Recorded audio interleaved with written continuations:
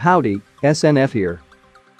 First introduced in Apex Legends Season 3, Crypto remains a mostly situational legend due to his abilities.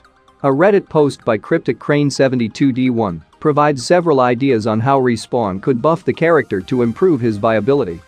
Before we get on with the video, don't forget to subscribe and follow and turn on notifications for more things Apex related. Balancing all of the characters in Apex Legends remains a daunting task for the team at Respawn.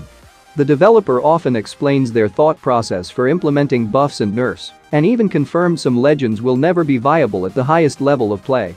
Despite this, the Apex community continues to provide feedback on how their favorite characters can be improved. In a Reddit post by Cryptic CRANE72D1, this crypto player provides the devs with a few ideas on how to improve the legend's viability and pick rate. Crypto's passive is his surveillance drone, which allows the player and their teammates to spot enemies marked by the drone. The concept creator argues this is not a true passive because it is actually tied to Crypto's tactical and suggests two alternatives to help improve the kit. The off-the-grid idea would allow the surveillance expert to partially avoid detection by other Legends abilities, like Bloodhound's scan. Instead of highlighting him, enemies would see a special notification letting them know an enemy was detected without revealing their location. Another idea would allow him to see how many squads are nearby at all times instead of having to scan champion banners with his drone. The player admits this particular ability could be too powerful but still thinks it's a way to potentially improve the character.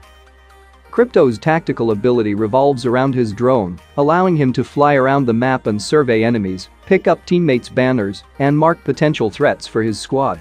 However, while he is in drone mode, the legend cannot move until he exits the drone.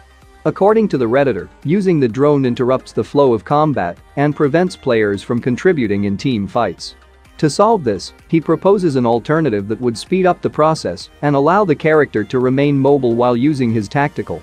The proposed solution would allow players to control the drone remotely, but also deploy it without entering into a separate mode.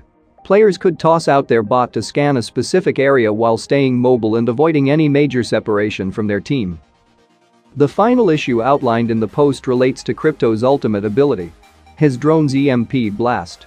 While the EMP can be a powerful ability, the user still thinks it's too difficult for him to deploy the blast effectively, then follow up with his team to attack. The proposed solution would be allowing the surveillance expert to deploy the EMP blast without using his drone. This would be done by separating the ultimate from his drone and giving him a separate EMP grenade, something Respawn showed off in the character's reveal trailer.